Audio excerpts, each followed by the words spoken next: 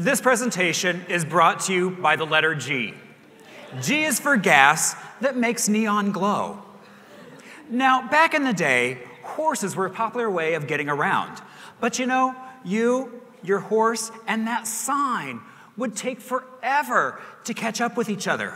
So signs became bigger, bolder, and brighter.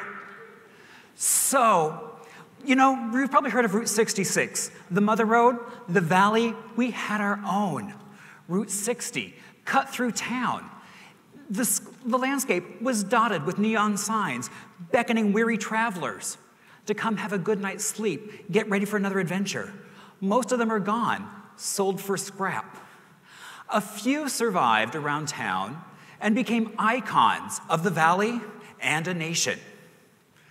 Some didn't survive quite as well.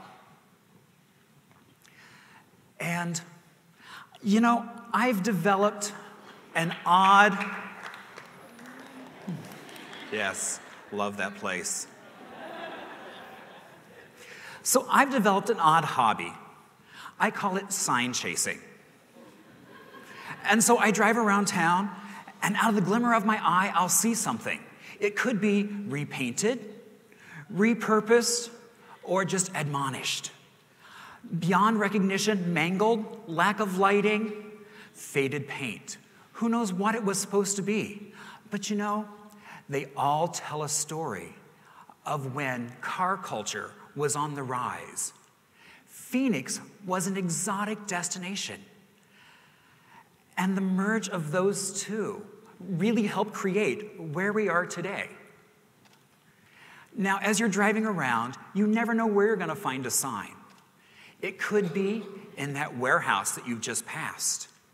It could be that wall in someone's backyard that you just drove by. You never know where you're going to find a sign. I'm always amazed. Sometimes a private museum filled to the brim with neon. Once I was out chasing signs and I stumbled upon a place that is dripping with Arizona history.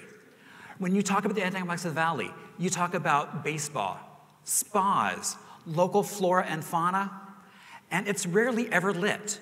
But there's even a more rare chance that we have to try and save this gem in the desert coming up in November, and then becomes another arduous task some become celebrities and fall with a thunderous boom.